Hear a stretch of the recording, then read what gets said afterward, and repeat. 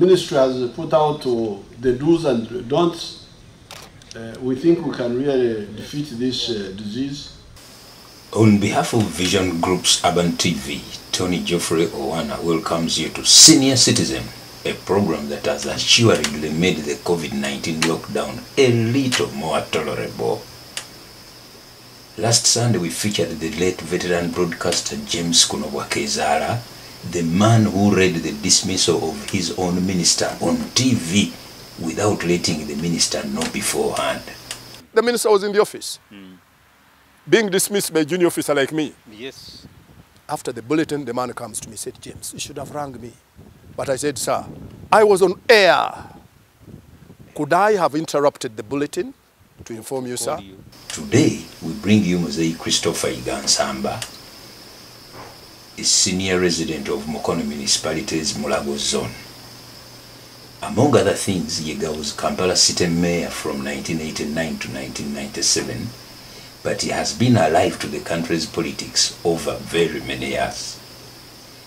Among the questions we asked him was why he does not consider himself a politician, and most interesting, how he came to be known as cholera, the name of a deadly disease. So now, Mr. Yiga, when do you become the politician? during the Obote time, Hmm?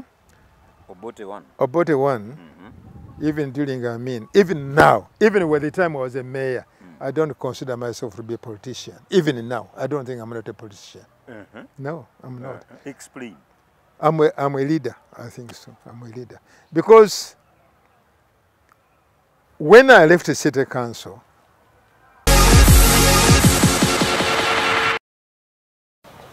In 1980, during the nomination of parliamentary candidates, the Uganda People's Congress arranged with security to block DP candidates from getting nominated by saying they are late. But I'm surprised that the same thing was done inside DP to, to Mzee Yiga here. Uh-huh. it's true. Uh-huh. So I sat there. So the people voted and they voted the Sebana to, to, to be the flag bearer. Yes. Okay. And uh, oh, we clapped. Then later Kafumi Makasa said, Mr. Yiga, uh, say something. I said, good heavens, how can you see an iron, a very hot iron, now you're pouring water on it? Yes. Because they have already decided. I said, okay, for the sake of the party. Then I talked. And but, because Sebana didn't know how to talk. I know. I- He could not beat me. I, I was staying in Nsambi. So, and me, I didn't know even about that Kavuyo viewers. so then later, okay, we went there, we supported the Seban, but we are so smart and was moving and we agreed with the Seban. At the time of registering the candidates, hmm. they could hold you. That, that's what I've been telling That's right. And that's what happened in North. The, the DP, you know, they returned unopposed. unopposed. Yes. So I was moving and said, you go through that. If they hold you, and in order to say there's no, uh, uh, so you could, and we know we are contesting with the Rukecha, Rukecha, something like that. Gertrude Bongo mean Lukecha. I remember the woman. So, And Pade Bleak. but when we are voting, that was a After graduating from Kira Road Police Station as a detainee, Christopher Igansamba did not go back to his home in Machindi. Instead, he sought refuge in Colin Hotel Mukono, and that is a story that will come to you another day. Let us now transit to how this senior citizen came to be known as cholera. But to get there, let's first take a look at omusawo omutendeke samusoni mululubabi kisekka ebiseera ebya desemba awo ko- obudde obwali nga bubi kolera yeeyongera abantu baffe bafe kolera nga tumanyi ebiziyiza ne kolera ndi katonda inshauri ya mungu How do you look at the politics which gave you the name cholera? ah, Yes. Because at one time it became a disease. yeah. You, you see, and I go back the history of DP when they were electing the flag bearer At St. Peter's at St. in Zambia. Yes. Uh-huh. Now they knew, eh? Unless they get a kind of to, to, to, to damage my name, Yes. there is no way. Eh? Mwana wa mwami Kulibya could hit him in Kampala. There was no way could uh, Sebagala hit me. Sebagala. Mm. And again, because of the DP card, early on we had already sat in my office when I was a mayor and discussing about the leadership, Museveni's leadership. eh? And uh, uh, you remember Ziritwala had resigned from the, from, from the, parliament. Parliament, yes.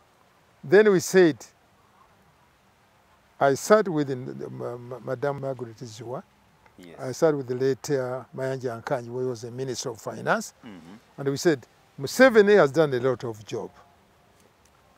Museveni has been he, managed to control the soldiers. Mm. So we should leave him go ahead. But even we, let me be honest, we Baganda, mm. we have a very big force. But how do we come in leadership positions? So we should not antagonize Museveni. Let Museveni be, be elected as a president, okay? Mm-hmm. And we give Semogerere as an alternative, mm. like what Nyerere did. Okay. So we say, Your Excellency Museveni, we give you our support as the President of the Republic of Uganda, but also look at DP, is a very strong party. Hmm. And Baganda also, we are a very, very big force. So that, that is, we are talking, Yes, I can see the maneuvers now. and they assigned me a responsibility. We, we are three in my office with the latest uh, Mayanja Nkangi. Hmm. Um, Ziwa is there. And up to 10 o'clock in my office as a mayor. We are now talking about the election where Semogede stood as the president. Ah, 96. 96. 96, that's right. 96. So, but I told them, I said, I'm going to you, I'm going out because I had an international conference. Said, but when I come back, I'll go and see Semogerere. And the idea was to get Semogerere and the other key strong so- holders, strong persons of, uh, of, uh, of Gondi, DP. DP. How do you rate the performance of Vision Group, which I am now representing? Oh, the the vision. In fact, that's my paper. I read the vision. Why I don't read the monitor? I'm sorry to be frank. One time when I was competing with the Sebana, I mean uh, with the uh, Sova and so forth for the Sebagala, the then who was uh, that man was writing? Don't elect Yiga. Okay. Uh, who wrote? Yeah, uh, one of those. Uh, who are those people who were famous in? in Wafulo Gutu? Wafu- Or Ah, no, Charles Wafulo Gutu.